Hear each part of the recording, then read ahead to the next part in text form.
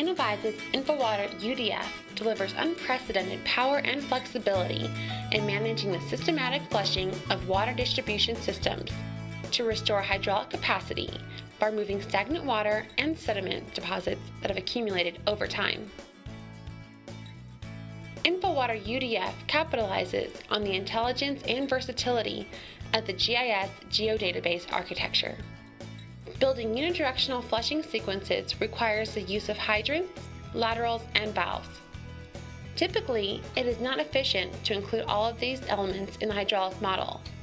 However, InfoWater UDF is built to take this data automatically from the GIS.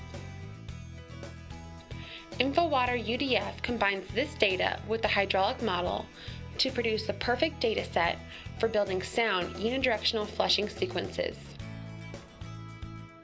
Leveraging the powerful InfoWater hydraulic distribution modeling and management software application, InfoWater UDF is able to calculate and report on the minimum flushing time, the total flushing volume and pipe length, the flushing velocity and shear stress of every pipe in the sequence, as well as available flow at the minimum residual pressure.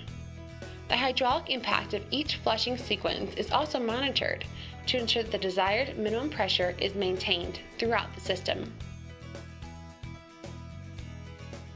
InfoWater UDF generates detailed reports of flushing sequences showing which fire hydrants and water main valves should be manipulated to assure optimal cleaning.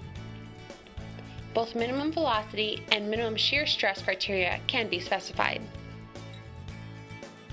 For more information on InfoWater UDF, please visit our website www.innovyze.com.